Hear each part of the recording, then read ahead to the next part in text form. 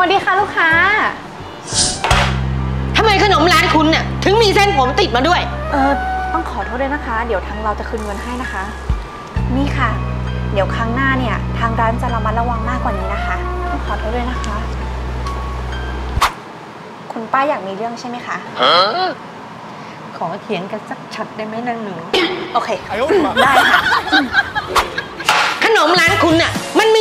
อยู่ในนี้ คุณป้ามีใบเสร็จไหมคะ ไม่มีคุณไม่ได้ให้ฉัน ถ้าไม่มีใบเสร็จเนี่ยทางร้านไม่รับผิดชอบนะคะคุณป้า แต่กล่องขนมเนี่ยมันมีชื่อร้านคุณอยู่ ดิฉันจะรู้ได้ไงคะ คุณอาจจะไปดักตีลูกค้าฉันแล้วแย่งขนมเขามาก็ได้ ใครจะไปทำแบบนั้นก็ก็คุณไงคะ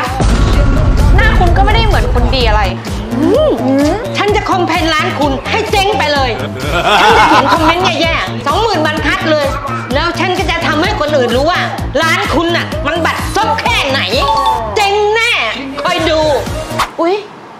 กลัวจังเลยค่ะอืมเอาเป็นว่าทางร้านจะคืนเงินให้แล้วกันนะคะขอโทษจริงๆค่ะ นี่ค่ะ ขอบคุณ ขอบคุณนะนางหนู